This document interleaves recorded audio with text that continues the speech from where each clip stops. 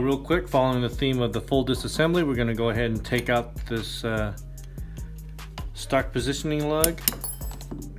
Pop that out of there. Slide that pressure plate forward. Two springs will come out with it.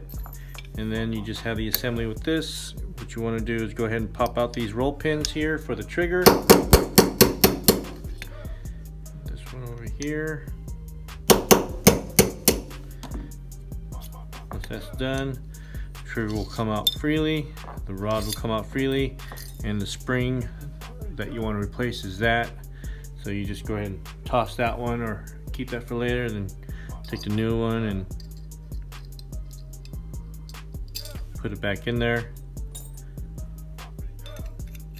Reverse engineer it, pop, put the trigger in, pop the two pins in, and there you go.